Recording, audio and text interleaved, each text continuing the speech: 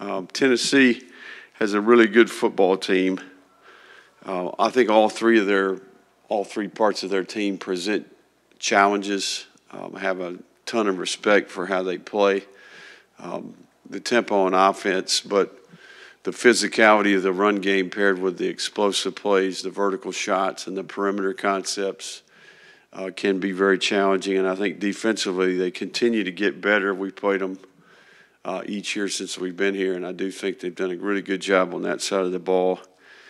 Personnel and fundamentals, um, you know, it's it's uh, statistically, if you look at the numbers there, they're they're at the top of our league in most categories. And then I do think they do a nice job in the kicking game.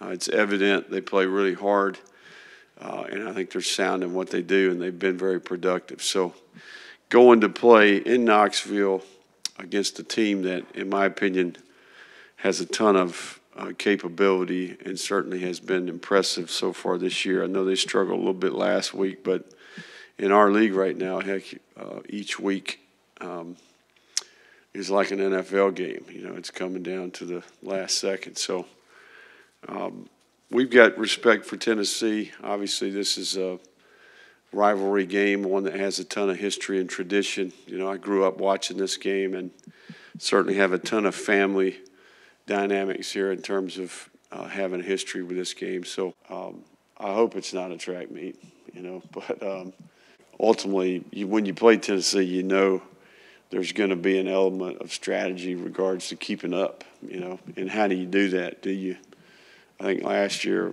we were able to play complementary football in the game, and I think there's a, a component to that. But now, look, points are a premium, right? You do what you got to do to score. So, again, I go back to what I said in the opening statement. This is not just an offensive football team. I mean, I think they've got they got they're pretty good on defense, in my opinion. Um, personnel, and I think in the kicking game, their history there, they've they've had some success. So they're they're ranked and they've been highly regarded in the preseason for a lot of reasons, and I think ultimately that's what I see on tape. Tennessee's quarterback Nico, and what type of challenges does he present? Yeah, I mean he's a unicorn, man. He's a this guy's six six. You know, I don't know how much he weighs, but he's a big athletic. I mean, he's ripping balls in the outside third, 15, 20 yards deep. You know, he's throwing it all the vertical shots. He's got big time arm. He's accurate. He can escape, extend.